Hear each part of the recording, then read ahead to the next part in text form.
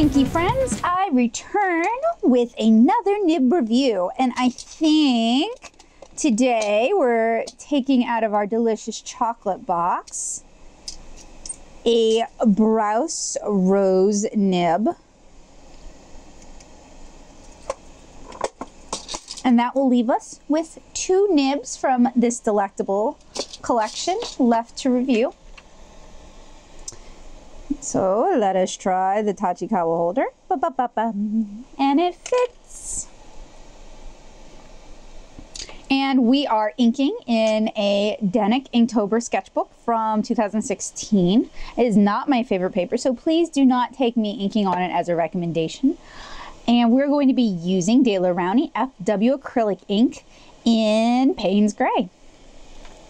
Let me grab a little swatchy sample sheet so I can squiggle my pen.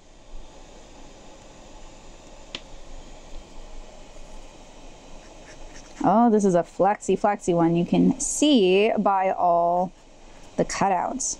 And you guys might remember me making a Franken pen out of a Jinhao X750 using a Brause Rose. That did not work out super well.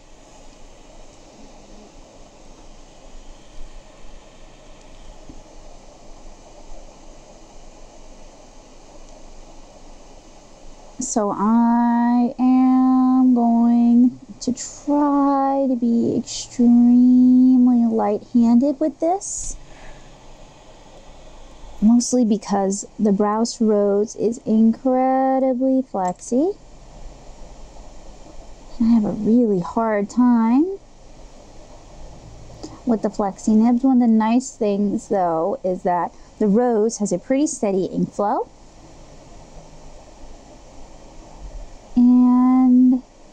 it will put down ink even if you're writing in the opposite direction. So you can do upstrokes with it very easily. And this is intended to be a calligraphy nib.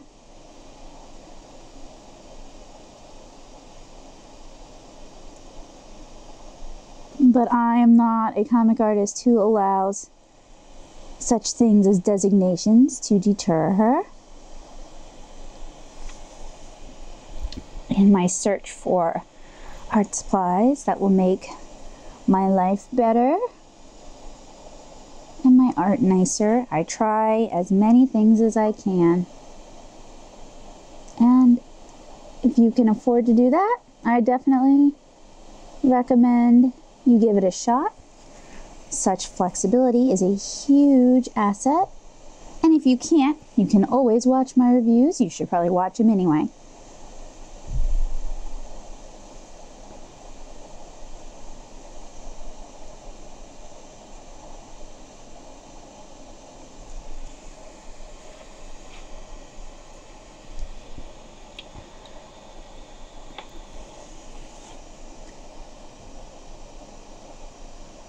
This would probably be a great nib if I wanted to ink something larger than this with bold outlines that still carried line weight.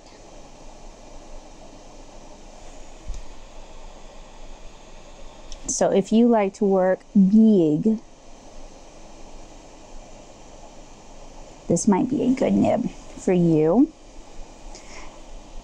It's a little easier for me to control than the Brause Steno, which I reviewed earlier.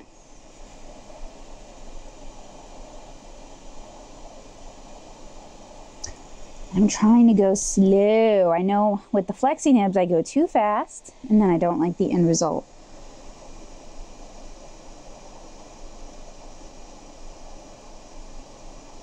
And this is putting down so much ink that the Denik paper is starting to buckle.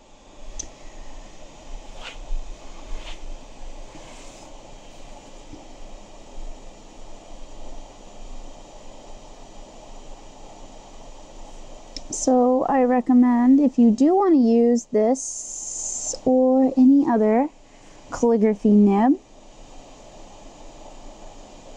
for your comics illustration, you go with a heavier paper like a Bristol, something that can better handle all this water going onto the paper.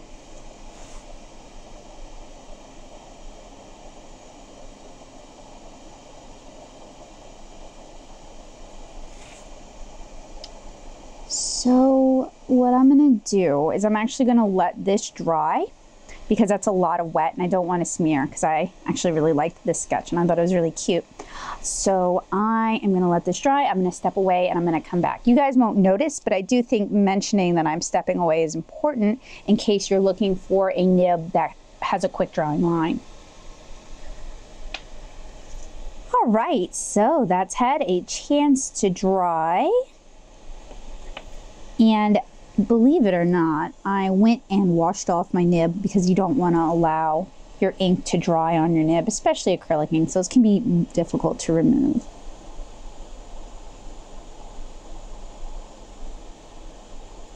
Oh, nope, found a wet spot. It's okay. We'll just work elsewhere.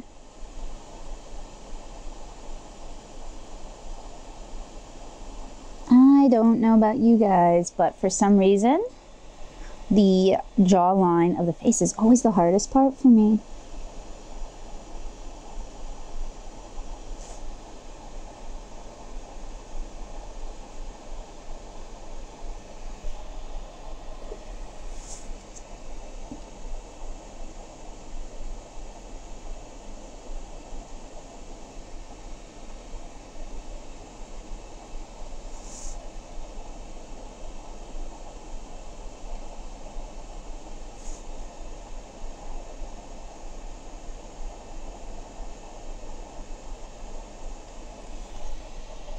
Now, if you put down too heavy of a line weight, it is prone to railroading out.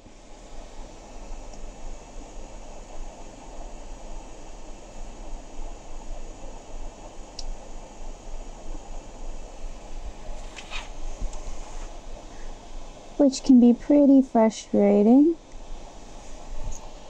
I do wonder if anyone offers a rose with a cage on it. That is a question for me to take to Paper and Ink Arts though. And then let you guys know the results.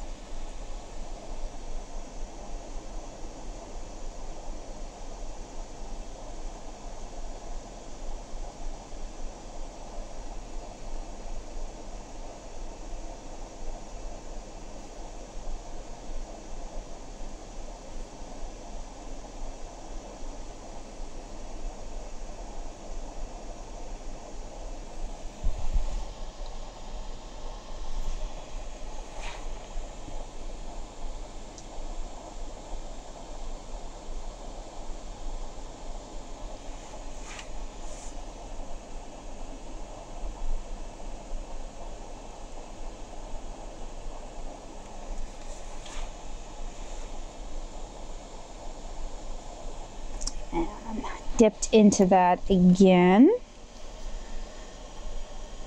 Now I could go in and sop up a lot of that ink with a paper towel. My hand's been kind of shaky lately, so it's not really something I would trust myself to do right now.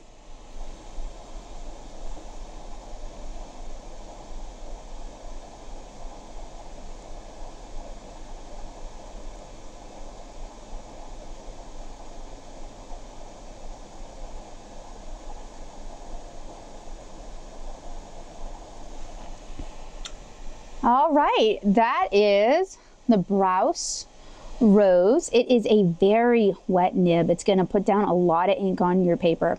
You want to make sure if you're using this nib, you're using a heavier paper because your paper will buckle if it can't take the ink or it's going to take a really long time to evaporate off. Um, it can be a good inker though, especially for comic artists. Uh, if you have a light hand, you're probably going to get the most use out of it. But if you are heavy-handed but can be delicate, as I guess I am today, uh, you can still get some really nice line weights with it. It does take practice and it does take control to get used to. It has fins and a breather hole. It is a two-tined pointed nib and you can get them open stock at paperandinkarts.com. If you enjoyed this nib review, let me know in the comments below. This nib is typically used for calligraphy, but I do love experimenting and trying new things and demonstrating those things for you guys in hopes that will inspire you as well.